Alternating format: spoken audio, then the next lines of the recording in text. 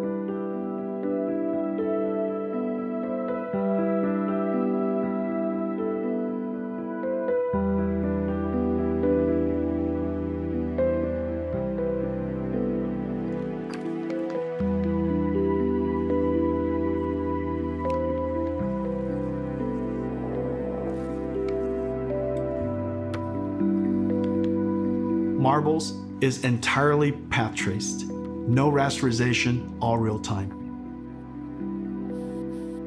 There are hundreds of lights, including spherical lights. There's no pre-baking, everything is dynamic.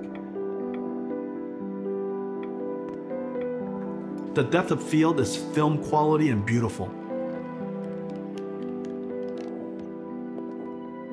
Everything is dynamic. Diffuse GI, all dynamic. There are hundreds of rigid bodies, 80 million triangles. Materials are physically accurate, physics simulation and volumetric rendering in real time.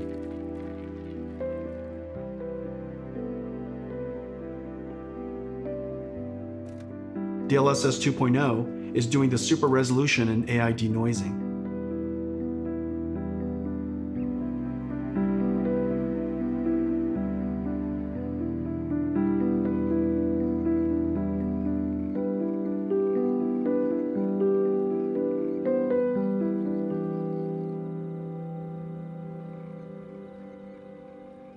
Let's compare Marbles Turing and Marbles Ampere. You can see dramatic visual quality jump of Ampere. Marbles on Turing runs at 720p 25 frames per second. Marbles on Ampere runs at 1440p 30 frames per second, more than four times the performance. And Ampere even did area lights and depth of field. A giant performance leap.